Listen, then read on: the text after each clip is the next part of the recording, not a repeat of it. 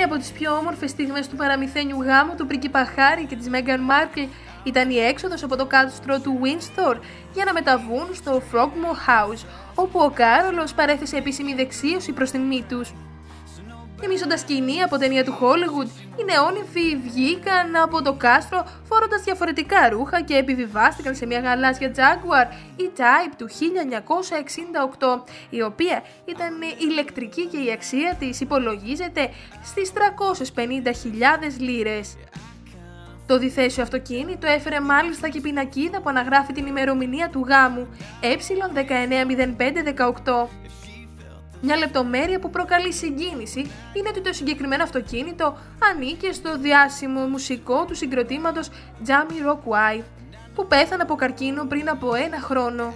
Ο λόγος για τον Toby Smith, που πέθανε σε ηλικία 46 ετών μετά από εξαετή μάχη με τον καρκίνο. Σύμφωνα με τη 43χρονη σύζυγο του εκλειπώντος, το γαμήλιο βασιλικό αυτοκίνητο αγοράστηκε από τον Toby. Την ηλεκτρική E-Type Zero δημιούργησαν οι μηχανικοί της Jaguar.